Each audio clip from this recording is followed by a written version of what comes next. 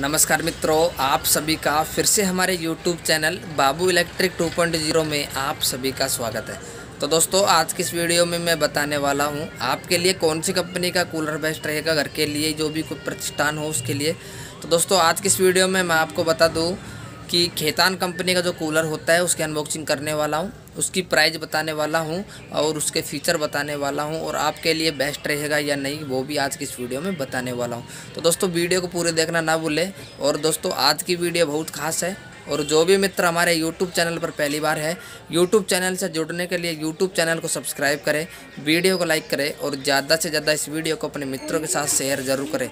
तो चलिए दोस्तों वीडियो को करते हैं स्टार्ट तो दोस्तों, आज की इस वीडियो में मैं खेतान के कूलर की अनबॉक्सिंग करके बताऊँगा, उसकी फ़ीचर बताऊँगा, उसकी प्राइस बताऊँगा। आपको दिख रहा होगा स्क्रीन पर यह है त्रिवेणी का 100 एम mm का कूलर। हाँ दोस्तों 100 एम mm का एडजस्ट कूलर है और एडजस्ट पंखड़ी इसमें लगी हुई है।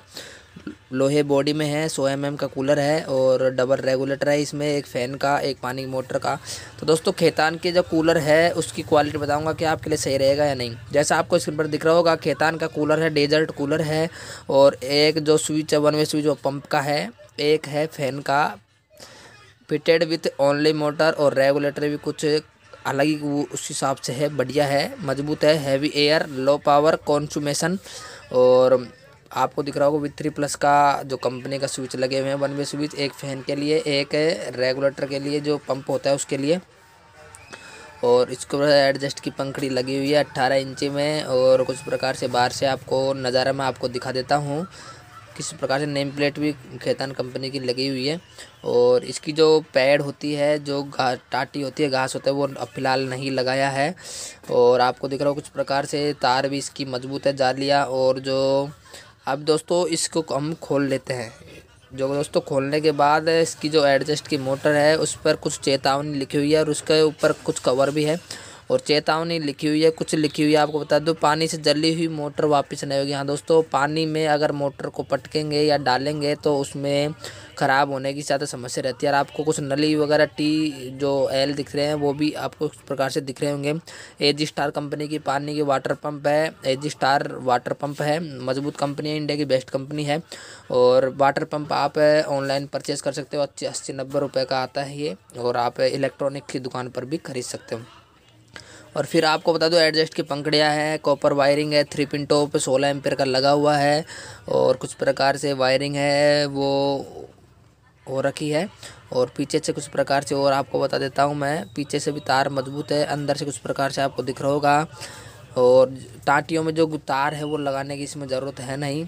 और एडजस्ट का सौ एम mm का कूलर है, आप इन्हें ऑनलाइन भी परचेज़ कर सकते हो अमेजन फ्लिपकार्ट पे। तो दोस्तों अमेजन फ्लिपकार्ट पे आप इन कूलरों को आप सौ एम mm का एडजस्ट कूलर लिख के सर्च करना और वहाँ पर कूलर आ जाएँगे। खेत कंपनी ज़रूर लिखना। और कुछ प्रकार से खेतान कंपनी का डेजर्ट कूलर है और मज़बूत है कुछ प्रकार से। और इसका रेगुलेटर मैं आपको बता देता हूँ कुछ प्रकार से है। और इसकी जो आगे की ग्रिल होती है और वन वे स्विच है पंप के लिए और ये रेगुलेटर भी कुछ खास प्रकार से और स्वयं में वो कूलर एडजस्ट कूलर है ऑनलाइन परचेज आप कर सकते हो। तो दोस्तों, अगर आप कूलर खरीदना चाहते हो तो खेतान कंपनी का खरीदो। पुरानी कंपनी है बेस्ट कंपनी है इंडिया की ट्रेंडिंग कंपनी है। तो दोस्तों, आज की वीडियो कैसी लगी? वीडियो में कमेंट करके ज़रूर बताइएगा, क्योंकि हमारे चैनल पर ऐसी कई वीडियो मिलती रहती है। आगे भी आपको मिलती रहेगी। चैनल से जुड़ने के लिए चैनल को सब्सक्राइब करें, वीडियो को लाइक करें और ज़्यादा से ज़्यादा इस वीडियो को अपने मित्रों के साथ शेयर ज़रूर करें। तो दोस्तों, आज के लिए बस इतना ही। नेक्स्ट वीडियो में मिलेंगे एक नए टॉपिक लेके। तब तक के लिए आपका धन्यवाद। जय हिंद, जय भारत।